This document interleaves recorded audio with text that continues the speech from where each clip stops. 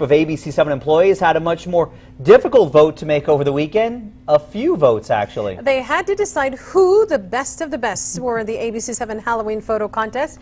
And we asked mm -hmm. you share your creative costumes with us, and boy, did you ever. they certainly did. ABC7's Nichole Gomez is live with some of those awesome photos. Nichole? Rick Estela, there were so many cool costumes. It was hard for me to choose my favorite, but let's take a look at some of those photos. And we're going to start off with this one. Selena Ontivero says, My son doing his best Harry Potter impression.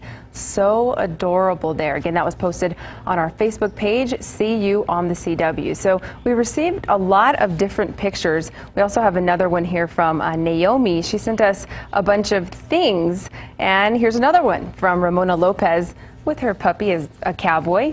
And this caption reads, Happy Halloween. So there's another adorable one. Not only did we see kids, but also pets. And here's Cute Nails by Dorothy, Jasmine as Pinocchio. So you might ask, how on earth could we choose a winner with so many pictures? Well, it wasn't easy. Our social media director, uh, he actually got four KVIA employees uh, to help judge some of the photos, and they put them together by five categories. Again, those are best baby costume, best pet, best group, and best overall or most original costumes. Now, our judges were looking for a few things in particular. They wanted to see a costume that was unique and original.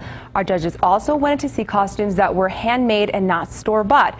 And since this was a photo contest, they're also looking for costumes that photographed well. So we want to thank you for sharing your pictures with us. We will announce the winner uh, tonight on ABC 7 at 9 on the CW. In the meantime, your photos are on KVIA.com. Doppler Dave is up next.